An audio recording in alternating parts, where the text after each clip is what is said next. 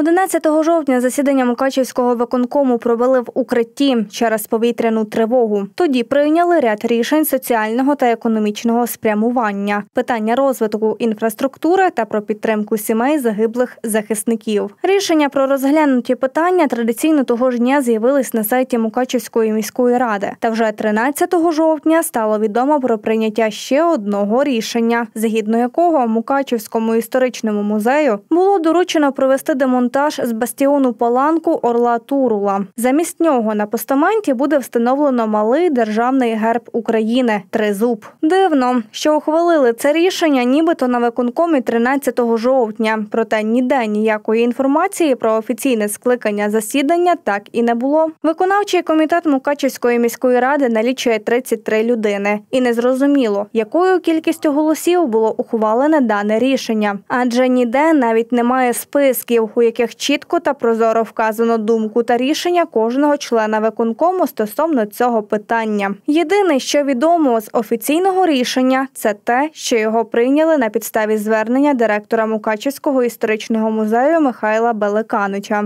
Держсекретар з питань національної політики Угорщини вже відреагував на новину про те, що Мукачівська міська рада демонтує Турула Спаланку на своїй офіційній сторінці у Фейсбуці.